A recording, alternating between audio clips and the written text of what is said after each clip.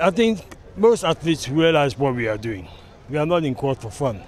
We are in court to improve athletics. Now, last year we had the African Championships in Nigeria. We took only four athletes. Were we in court then? We were not in court. Why were we taking only four athletes? There's a problem with athletics. And these things have to be solved. That we don't take only four athletes to, to, to our next door neighbor, that we take 20 athletes, 25 athletes, well qualified to go and perform.